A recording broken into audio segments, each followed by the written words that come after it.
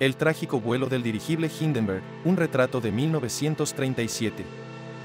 Inició como un símbolo de esperanza, el Hindenburg era la joya de la aviación alemana.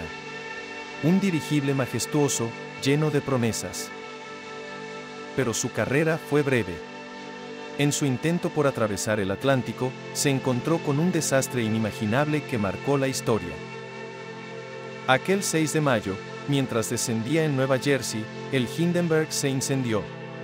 El sueño aéreo se convirtió en una pesadilla llameante.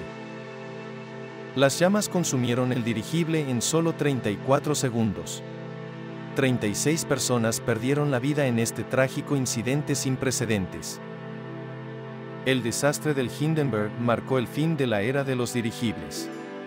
La seguridad aérea tomó un nuevo significado después de este incidente.